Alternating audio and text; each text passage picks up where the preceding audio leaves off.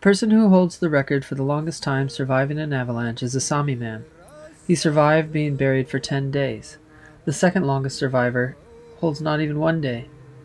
This has been studied and recorded as to how this was even possible.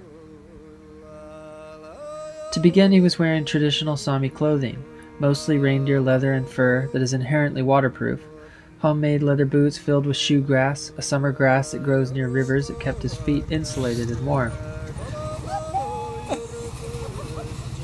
He had been hunting and had three ptarmigan grouse on him. He had to eat them raw over this period. His left leg was completely cemented in place, but a little luck was involved, and he had movement in one arm and an air pocket near his face. He'd only ever been to the cinema once in his life, and that movie ticket was in his pocket, of which he was able to place on the end of his ski pole and thrust upwards out of the snow for someone to hopefully find. Ten days later, they found him. It's amazing!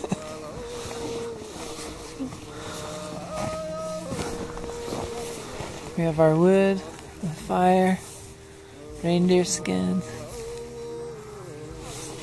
all under branches, make it softer. They know how to do it.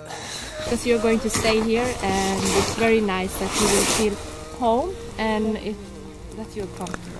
And So we have a fire keeper, we have a kitchen leader, we have a bathroom leader. yeah. I call the bathroom.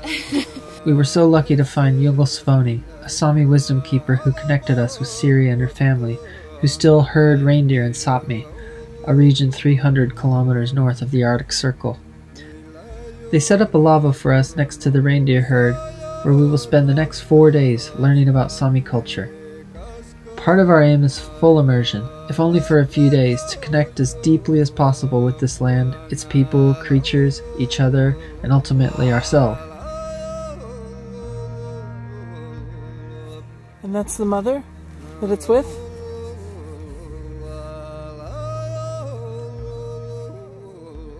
All of our travels bring us to places for a reason, and you never know what intricate detail might help you through your current situation, whether it's how a culture has persevered through subjugation, or a simple symbiotic relationship between an animal and a plant.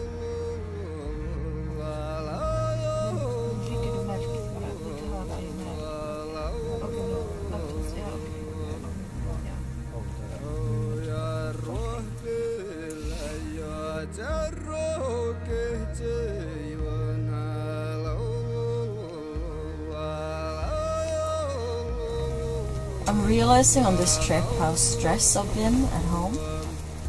Like stressing about figuring out my next moves and what to do, where to go. Yeah. Yeah. So being here and just embracing the silence and not doing much is ac- was actually a need I didn't know I knew I had. Yeah. Yeah, it was funny. We all just came here and just like slept. like slept in the sun. Yeah. And they were like, you could take a reindeer skin and go out and lie in the moss. I was like, no, I can't. That's a real thing. Really?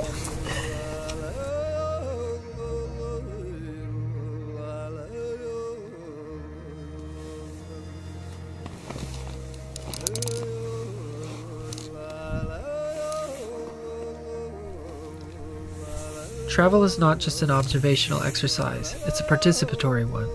Even if you are just visiting a major site like the Eiffel Tower, you are part of the throngs of people that each person will remember about visiting that place. So the question is how can we be the best traveler? With this in mind, connection was an integral aspect behind each action we took. We brought gifts for the family, we contributed a couple hours of work. We ate the local food, drank the water, and listen to cultural music, which helped us literally become part of the place.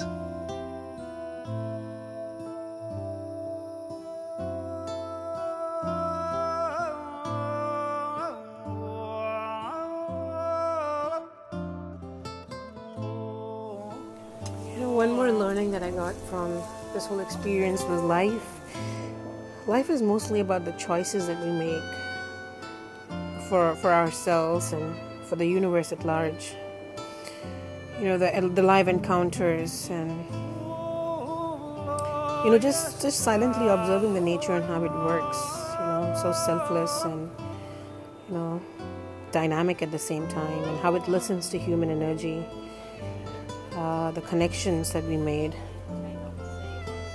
uh, during the trip during the experience sitting in front of the fire they were really deep and it's going to remain within me forever. And just the awareness you know just say the, the awareness of what's going on with different tribes different cultures in itself plays a very big role in preserving the knowledge the wisdom that's been passed on since generations. It was it was truly a sacred way of knowing a country experiencing the country. And it's it's long lasting it's not just like you you know you just go to a place and you're done. It's it's something that remains within you and it becomes a part of you. Ah it was it was magical. It was purely magical